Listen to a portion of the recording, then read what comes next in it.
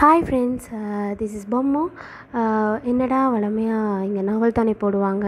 புதுசாக என்னென்னவோலாம் பேச போகிறாங்க அப்படின்னு யோசிக்காதீங்க. Uh, இது ஒரு சேஞ்சுக்கு வீக்லி ஒரு டூ வீக்ஸுக்கு ஒரு தடவை என்னவோ நான் வந்து இன்ஃபர்மேட்டிவாக ஒரு வீடியோ போடலான்னு இருக்கேன். Uh, நாவல்ஸும் மற்ற பாட்டுக்கு வளமையாக வந்துக்கிட்டு தான் இருக்கும். சரி இப்போ நம்ம வீடியோவுக்கு போகலாமா இங்கே வந்து சாப்பாடு தான் முக்கியம் அப்படின்னு இருக்கிற ஃபுடிஸும் இருக்காங்க. அதோட தூக்கம் தான் முக்கியம் அப்படிங்கிற ஸ்லீப்பிங் பியூட்டிஸும் இருக்காங்க. ஸ்லீப்பிங் பியூட்டிஸுக்கு வந்து தூங்க தான் தெரியும். ஆனால் ஏன் தூங்குறோம்? இதுக்கு தூங்குறோம்? எப்படி தூங்குறோம்? எதுவுமே தெரியாது. இப்போ அதை பற்றி சில ஃபேக்ட்ஸ் தான் நான் சொல்ல வந்திருக்கிறேன். வழமையாக நம்ம மனிதன் வாழ்நாளில் ஒன்றில் நான்கு பங்கு அல்லது ஒன்றில் மூன்று பங்கு கிட்டத்தட்ட தூக்கத்திலே கழிச்சிடுவோம் நாம். சின்னலேருந்து தூங்க தொடங்கினாங்க. இப்போ வரைக்கும் தூங்கிட்டு தான் இருக்கோம். வளமையாக பிறந்த குழந்தைங்க இருபது மணித்தியாலும் தூங்குவாங்க டெய்லி. அப்புறம் வந்து குறைஞ்சி குறைஞ்சி குறைஞ்சி குறைஞ்சு வந்து இப்போ கிட்டத்தட்ட ஆறு தொடக்கம் எட்டு மணித்தியாலும் ஒரு சராசரி மனிதனுக்கு தூக்கம் தேவை. கிட்டத்தட்ட தூங்காமல் இருக்கலாம். ஒரு பதினொரு நாள் அப்படி தூங்காமல் நம்மளால் இருக்க முடியும். அப்படி தான் ஒருத்தர் இருந்தார். இப்போ தனது பதினேழாவது வயதில் அவரோட பேர் வந்து ரேண்டி கார்ட்னர் அவர் என்ன பண்ணியிருக்கிறாருன்னா சரி நான் ஒரு இது நான் ஒரு உலக சாதனை படைக்க போகிறா அப்படின்னு சொல்லிட்டு தூங்காமல் இருந்திருக்கிறார்.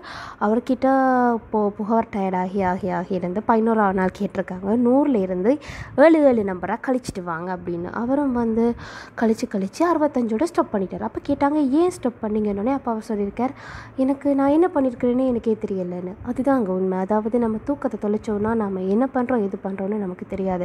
ரெண்டு நாள் தூங்காமல் இருந்து பாருங்கள் உங்களால் எதுலேயுமே கான்சென்ட்ரேட் பண்ண முடியாது. ஆனால் வந்து ஏன் தூங்குறோன்னு நமக்கே தெரியாது. தூக்கத்தில் பிரெயின் வந்து முழிச்சுட்டு தான் இருக்குது பிரெயின் வந்து தூங்கலை. நம்ம இறக்கும் போது மட்டும்தான் நம்மளோட பிரெயின் தூங்குது. ஆனால் அந்த தூக்கம் இல்லாட்டி நம்மளால் எந்த விஷயத்துலையும் வந்து கன்சன்ட்ரேட் பண்ண முடியாது. அதுதான் நிதர்சனமான உண்மை.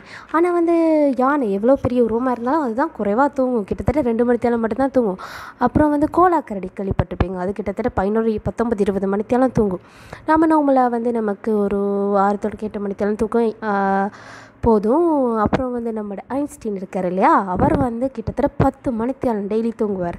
அவருக்கு தெரியும் தூக்கத்தோட பவர் அது மேபி அதுதான் அவரோட மூளைக்கும் காரணமாக இருக்குமோ தெரியல. கிட்டத்தட்ட நம்ம தூங்கும்போது நமக்கு பல விஷயங்கள் நடக்குது. சிலர் கதைப்பாங்க சிலர் நடப்பாங்க. அப்படி பல பல விஷயங்கள் நடந்துக்கிட்டு இருக்கு இல்லையா?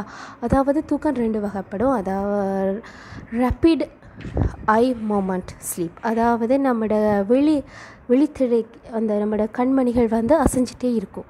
அது வந்து ரேப்பிட் ஐ மோமெண்ட் ஸ்லீப்னு சொல்லுவோம். அது வந்து ஆரம்பத்தில் நீங்கள் தூங்க ஆரம்பிச்சதும் ஒரு தொண்ணூறு நிமிஷம் அந்த ஸ்லீப்லாம் தான் இருப்பீங்க.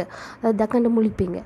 அந்த டைம் தான் நமக்கு கனவுகள் வரதும் அந்த டைமில் தான். அதுக்கப்புறம் தான் டீப் ஸ்லீப்புக்கு போயிடுவீங்க. டீப் ஸ்லீப்புக்கு போனால் தான் நம்மளோட டிஷ்யூஸ் எல்லாம் ரீகவர் ஆகிறது தொடக்கம் எல்லாம் நடக்கிறது அந்த டீப் ஸ்லீப்பில் தான். நமக்கு அது வந்து இப்படி செக்கில் செக்கில் மசக்கில் மாதிரி ரிப்பீட்டட் ஆகிட்டே இருக்கும். நம்ம கனவு வந்து முழிக்கிறதோ கத்துறதோ எல்லாம் வந்து நம்மளோட அசைவுகள் இருக்கிறதோ வந்து ரேபிட் ஐ மொமெண்ட் ஸ்லீப்பில் தான் நடக்கும். கிட்டத்தட்ட பதினஞ்சு விதமானவங்க வந்து தூக்கத்தில் நடக்கிற வியாதி இருக்குது நம்ம டாக்டரில் இப்போ நீங்கள் நம்ம யோசிப்போம் நமக்கு வந்து தெரியும் என்னது இப்படி நிஜ உலகம் இருக்குன்னு தெரியும். இப்போ தூங்கும்போது நமக்கு எப்படி இருக்கும்? நமக்கு ஆக்கள் வருவாங்க கனவில்.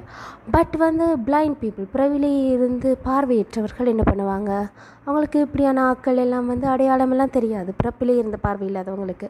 அவங்க என்ன பண்ணுவாங்கன்னா அவங்களுக்கானது வந்து ஸ்மெல்லோ அதாவது ஏதாவது மணங்களோ தொடுகைகளோ அப்படியானதுகள் தான் அவங்களுக்கு கனவாக வந்து சேரும்.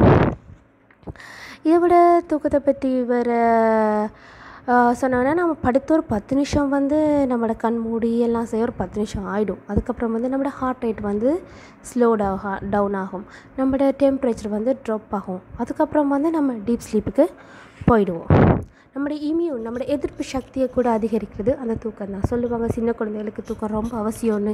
ஏன்னா அவங்களோட மூளை வளர்ச்சி தொடக்கம் எல்லாமே நடக்கிறது அந்த தூக்கத்தில் தான்.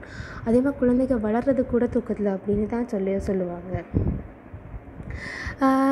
இது வந்து என்னோடய முதல் வீடியோங்கிறதால ஒரு சின்னனாக ஒரு இன்ட்ரடக்ஷன் மாதிரி தான் இதை கொடுத்துருக்கேன்.